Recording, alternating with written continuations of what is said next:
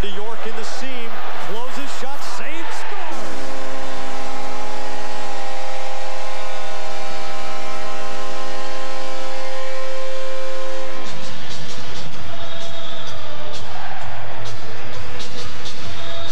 It just rolled up and over Raycroft. Raycroft with the initial save, but you're right, Jack. I think that puck just continued with some momentum and finds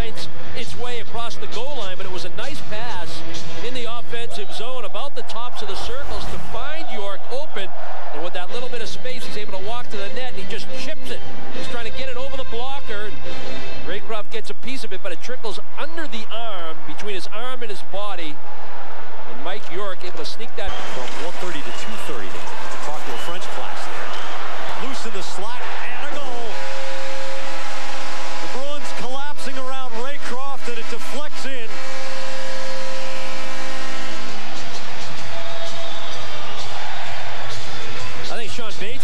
Is going to get this goal, Jack. This line's been highly effective for the Islanders all night long. They had great pressure in the first period. They've had some chances in the second. They just pull up along the boards, and it was a nice little follow-up. Blake again using a short distance pass indirectly off the boards. Good communication with Trent Hunter coming late. Hunter's able to pick that puck up and get to eat. And Hunter's the other guy on the line. Here he is with a break going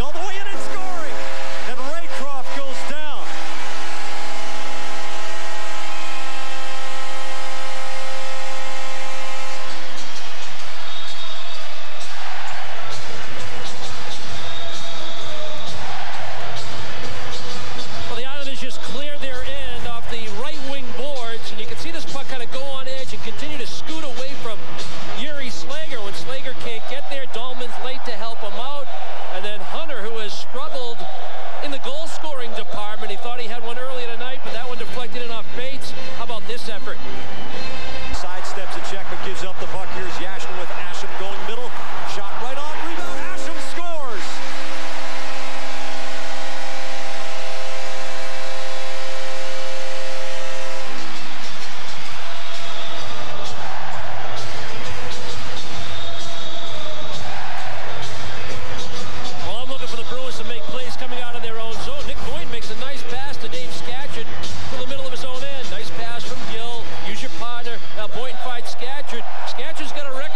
could be some pressure coming. It comes from the blind side.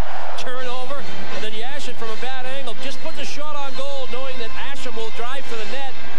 Not a very good rebound to leave by Raycroft. And Nice for Boston, and here's